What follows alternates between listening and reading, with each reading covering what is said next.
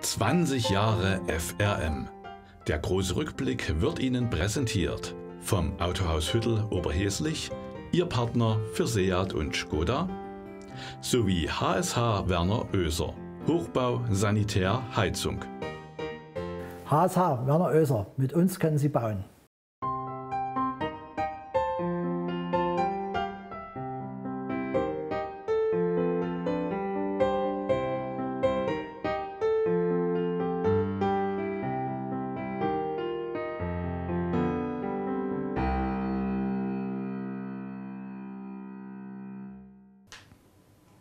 Hallo und herzlich willkommen, liebe Zuschauer, hier bei FRM. Ich freue mich, dass Sie auch in dieser Woche eingeschaltet haben zu einer ganz besonderen Sendung, und zwar zu unserem ersten großen Rückblick. Im Jahr 2000 wurde FRM gegründet, also feiern wir dieses Jahr unser 20-jähriges Bestehen. Die große Feier fiel Corona-bedingt aus, aber dennoch haben wir keine Zeit und Mühen gescheut und haben uns das Archiv der letzten 20 Jahre angesehen und die größten Highlights für Sie herausgesucht. In dieser Woche möchten wir Sie auf eine Zeitreise mitnehmen und zwar ins Jahr 2001. Und Sie werden äh, überrascht sein, was sich alles in der Zwischenzeit verändert hat. Viel Spaß in den kommenden Minuten. Am 22. August besuchte der damalige SPD-Bundeskanzler Gerhard Schröder die Ohrenstadt Glashütte. Genauer gesagt die Firma Nautische Instrumente Mühle. Der Geschäftsführer Hans-Jürgen Mühle stellte sein Unternehmen dem Politiker vor. Dieser interessierte sich sehr für die präzise Handarbeit, die für die Produktion der Zeitmesser notwendig ist.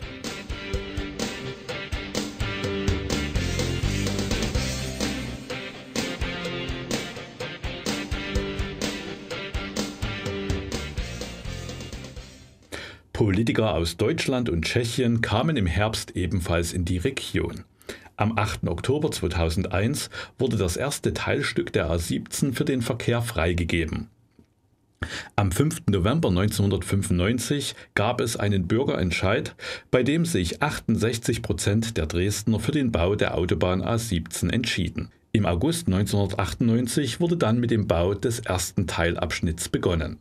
Nach rund drei Jahren Bauzeit war der Abschnitt vom Autobahndreieck Dresden-West nun bis zur Abfahrt Gurbitz befahrbar. Allzeit gute Fahrt.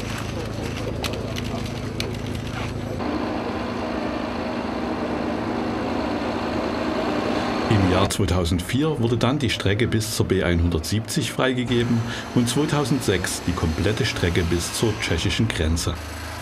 Im Jahr 2018 wurden auf diesem ersten Streckenabschnitt im Durchschnitt 47.064 Fahrzeuge pro Tag gezählt. 8.364 Lkw waren hier täglich unterwegs. Während der Verkehr auf der A17 anrollte, kam er auf dem Dippoldeswalder Marktplatz zum Stehen. Denn hier wurde mit den umfangreichen Umbaumaßnahmen begonnen. Ursprünglich geplant war, dass die Umgestaltung des Dippoldeswalder Marktplatzes Weihnachten 2001 abgeschlossen ist. Doch Planungen und Fördergeldbeantragung verzögerten sich so weit, dass erst im Spätsommer 2001 mit dem Bau begonnen werden konnte. Damit war der Wunschtermin nicht mehr zu halten. Der Bürgermeister Horst Bellmann begrüßte zum symbolischen Spatenstich. Ja, sehr verehrte Anwesende, ein herzliches Willkommen zum sogenannten ersten Spatenstich des Um- und Ausbaus oder Neubaus unseres historischen Marktes in Dippoldeswalde. Wir werden natürlich den ersten Spatenstich mit modernster Technik durchführen. Das heißt, wir werden uns dieses modernen Baggers bedienen. Und wer Horst Bellmann kannte, weiß, dass er es sich nicht nehmen lassen hat, diesen selbst durchzuführen.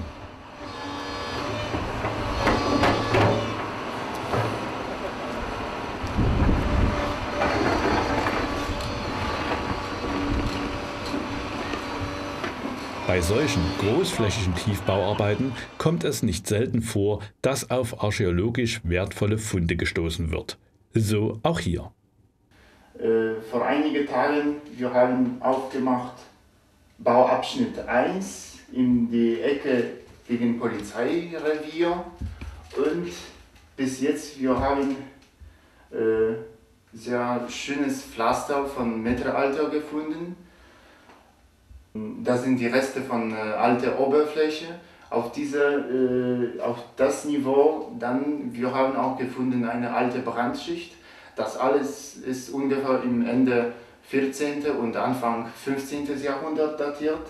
Das ist die Fundmaterial von Brandschicht äh, sowie von Oberfläche des, äh, des Kopfsteinpflaster. Doch nun erst einmal genug von Baustellen. Im Jahr 2001 wurde natürlich auch gefeiert.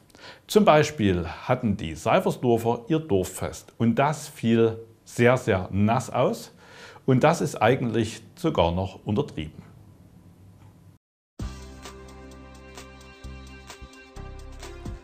Regen, Wind und Schlamm prägten das Dorffest in Seifersdorf. Über provisorisch errichtete Holzstege konnte man sich relativ schlammfrei bewegen. Doch die Besucher ließen sich davon nicht den Spaß verderben. Im Zelt wurde ausgiebig gefeiert und dank Glühwein musste auch niemand frieren. Neben dem Festzelt wurde sogar ein Golfplatz eingeweiht.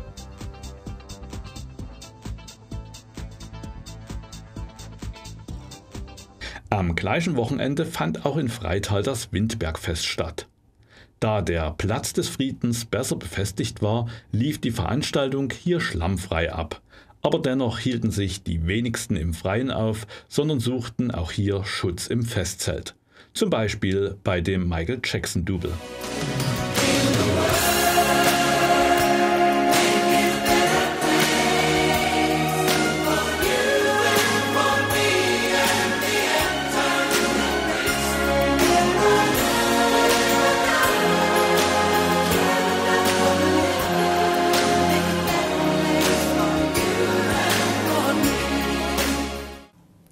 Musikalisch geht es auch gleich weiter. Mehrere Chöre aus der Region waren bei Alles singt im Heinz Freizeitzentrum dabei. Doch zuvor gibt es eine kurze Werbeunterbrechung.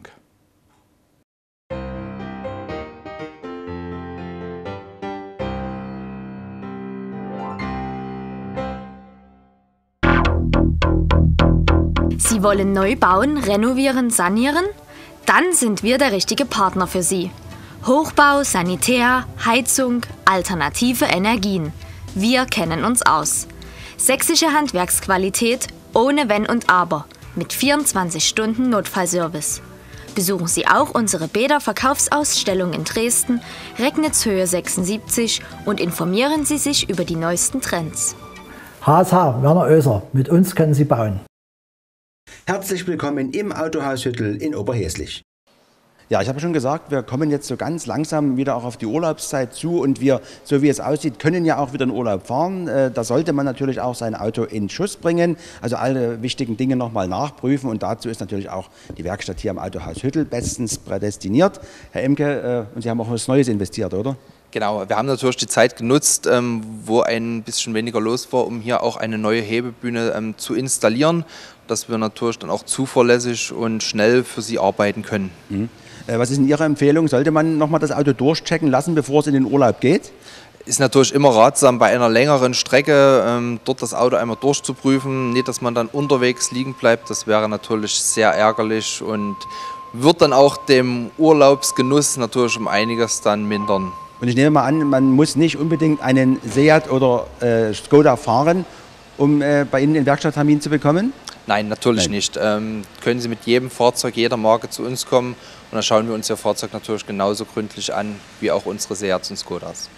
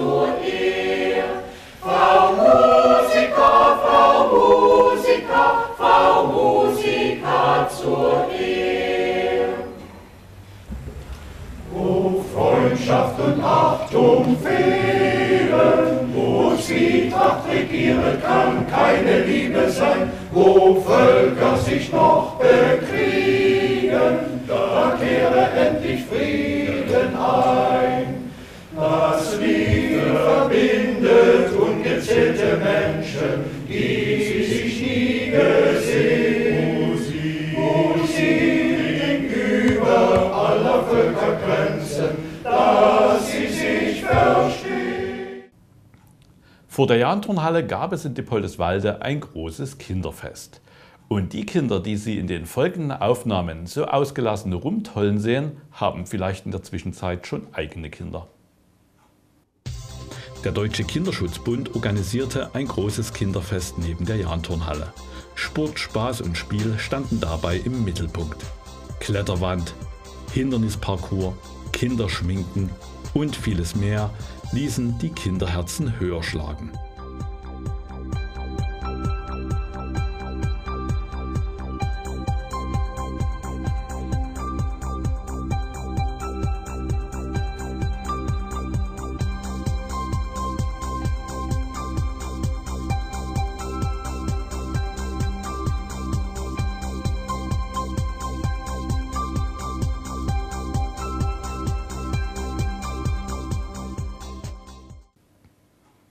Für den nächsten Beitrag ist kein großer Ortswechsel notwendig. Wir gehen nur ein paar Schritte hinein in die Jahnturnhalle. Denn hier hatten die Volleyballerinnen ihren großen Auftritt. Seit 1951 wurde in Dippoldeswalde Volleyball gespielt. Bereits im ersten Jahr gewannen die Dipser Mädchen und Jungen die ersten Kreismeistertitel. Im Jahr darauf wurden die Mädchen Landesmeister und die Jungen belegten den dritten Platz. So erfolgreich ging es auch in den folgenden Jahren und Jahrzehnten weiter. Dippoldeswalde entwickelte sich zu einer regelrechten Volleyball-Hochburg. 50 Jahre nach dem Start standen nun die Mädels vom TUS Dippoldeswalde im Bezirksfinale. Hier sind sie mit sieben Siegen als beste Mannschaft eingezogen. Zusammen mit dem Heimvorteil galten sie als Favorit des Spieltages. Und diese Erwartung konnten sie auch erfüllen und setzten sich souverän durch.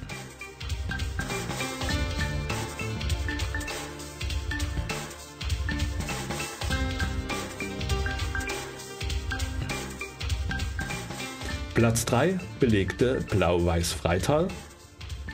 Über Silber freuten sich die Volleyballerinnen der TU Dresden und unter dem Jubel ihrer Fans konnten die TUS-Mädels ihre Goldmedaillen in Empfang nehmen.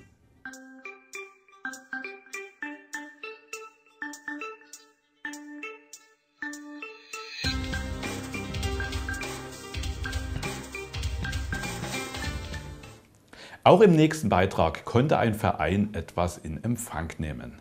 Traditionell am 11.11. .11. um 11.11 Uhr übernahm der Dippoldeswalder Faschingsverein den Rathausschlüssel. Im Jahr 1992 wurde auf Initiative von Horst Wagner der Dipser Faschingsverein gegründet. Jedes Jahr am 11.11. .11. um 11.11 Uhr ziehen sie vors Rathaus, um vom Stadtoberhaupt den Rathausschlüssel zu übernehmen. Dieser wurde in den ganzen Jahren auch immer friedlich an die vertrauenswürdigen Hände der Närrinnen und Narren gegeben. Nein, Treiber Tipps! Hello! Tipps! Hello! Tipps! Hello! Mit dabei ist natürlich auch immer die Funkengarde.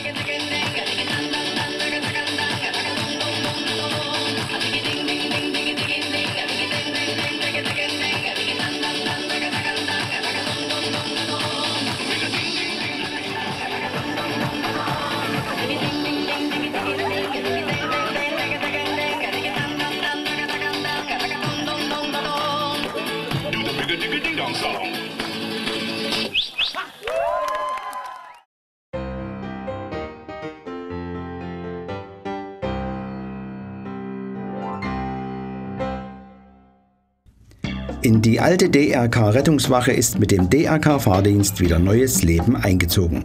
Herr Klügel und seine Mitarbeiter sorgen für uneingeschränkte Mobilität und gewährleisten eine reibungslose Beförderung. Das Team ist speziell für die Bedürfnisse von mobilitätseingeschränkten Menschen ausgerichtet und im Umgang mit Menschen mit Behinderung geübt. Wir fahren Menschen mit Behinderung täglich zur Arbeit in Werkstätten und Fördereinrichtungen, Kinder mit den jeweiligen Kindersitzen in Kindertageseinrichtungen, ihre Angehörigen in die Tagespflegeeinrichtung oder zu Ärzten bzw. in Krankenhäuser für ambulante oder stationäre Behandlungen. Menschen mit und ohne Behinderung zu allen Anlässen, Verwandte und Gäste zu Hochzeiten oder anderen Feierlichkeiten, zu Ausflügen und Gruppenausflügen zum Flughafen oder sonstigen Treffpunkten, zu Einkaufsfahrten, insbesondere mit Senioren und hilfsbedürftigen Menschen und wir übernehmen allgemeine Kurierfahrten. Der Fahrdienst bringt Sie sicher ans Ziel. An den Leistungen hat sich mit dem neuen Standort nichts geändert. Sie finden den Fahrdienst des Deutschen Roten Kreuzes nun in Freital auf der Dresdner Straße 124. Liebe Freunde der Strakos Erlebniswelt, jetzt gibt es noch einen Grund mehr, uns zu besuchen, denn wir haben unseren Biergarten für Sie komplett neu gestaltet. Neue Tische und Bänke sowie eine einladende Blumenpracht werden Sie begeistern.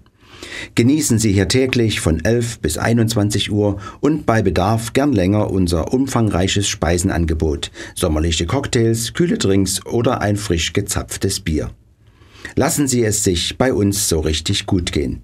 Bei ungünstigem Wetter begrüßen wir Sie gern im Galerierestaurant und natürlich ist auch unser Erlebnisverkauf von 10 bis 19 Uhr für Sie geöffnet.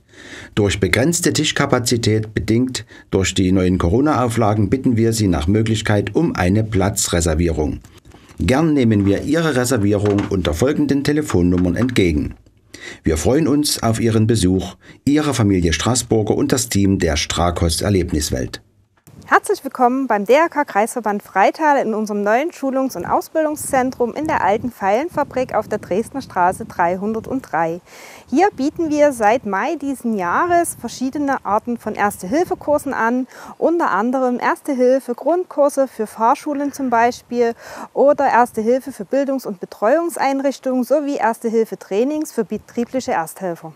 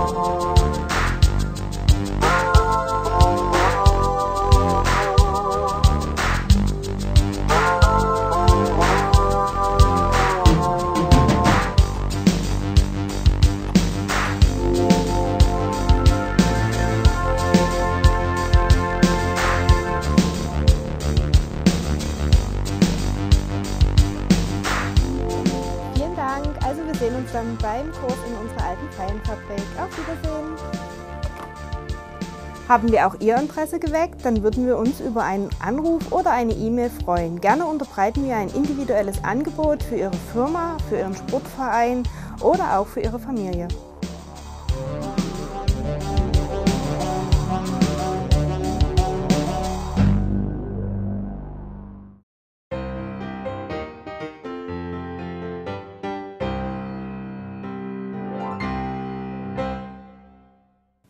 Am Anfang unseres 2001 Rückblicks haben wir vom Dorffest Seifersdorf und vom Windbergfest berichtet.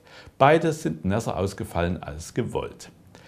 Aber auch in Reichstätt und in Reinhardsgrimma sind viele nass geworden. Da allerdings war es gewollt.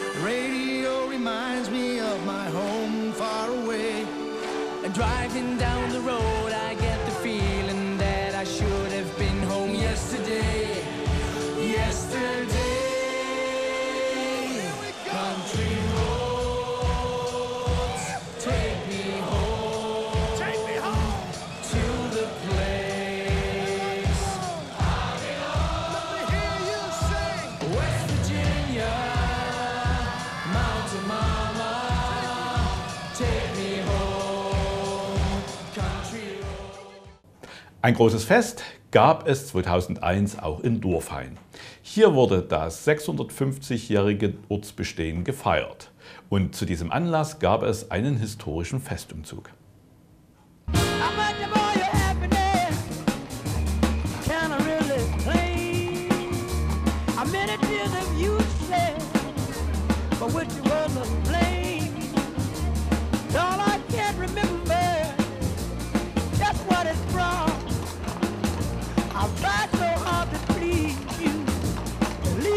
but I thought.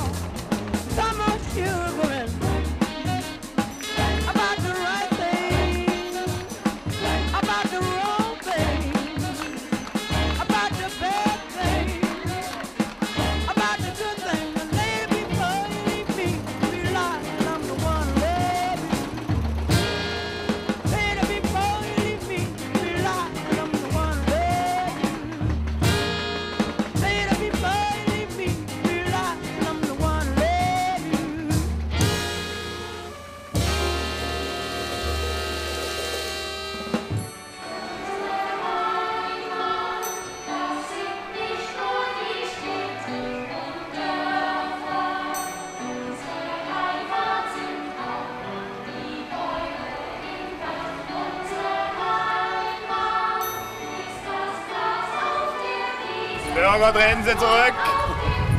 Eine Filmgenehmigung.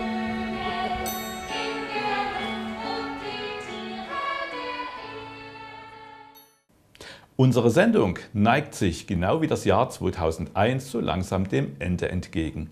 Und was gehört zum Jahresabschluss dazu? Richtig, die Weihnachtsmärkte. Hier einige Impressionen aus Dippoldeswalde.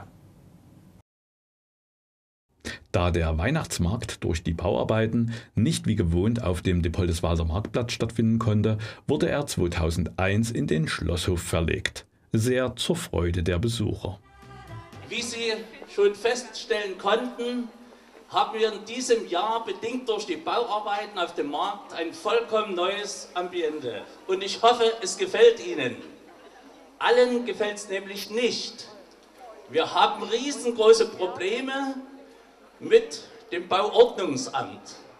Das hat uns versichert, es wird diesen Markt nicht wieder geben. Das verstößt gegen die sächsische Bauordnung. Und wir Deutschen, wir sind ja bei der Einhaltung der Gesetze, zumindest die meisten, die nehmen das ja ganz genau.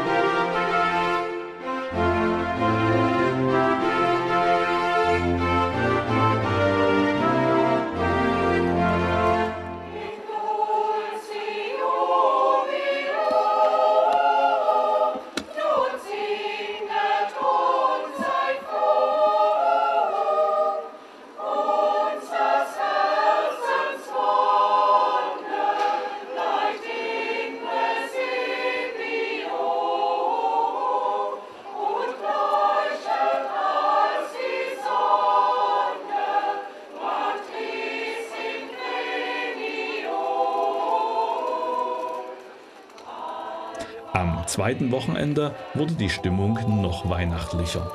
Eine dünne Schneedecke färbte die Dächer und Straßen in winterliches Weiß.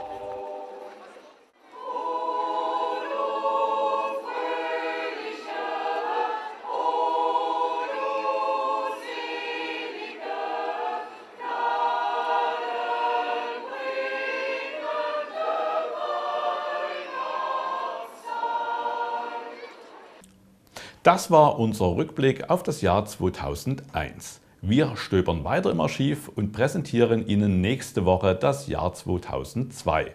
Und da gab es mit Sicherheit noch deutlich mehr als die Flut zu sehen. Ich hoffe, Sie sind auch dann wieder mit dabei und verabschiede mich bis dahin von Ihnen. Machen Sie es gut, Ihr Ronny Birner.